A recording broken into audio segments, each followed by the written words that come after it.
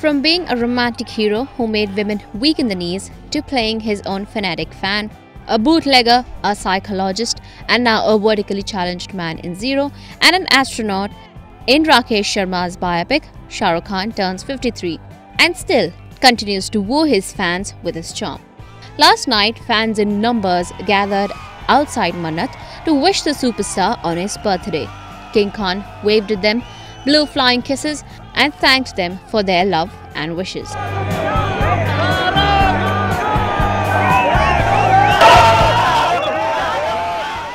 While Johar wishing his bhai on Instagram shared a photograph and wrote, Happy birthday, bhai.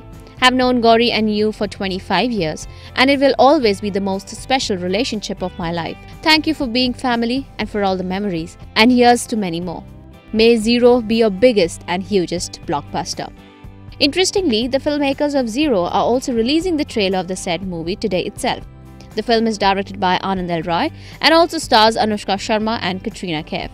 Zero, where Shah Rukh will play the role of a vertically challenged man, releases on December 21st.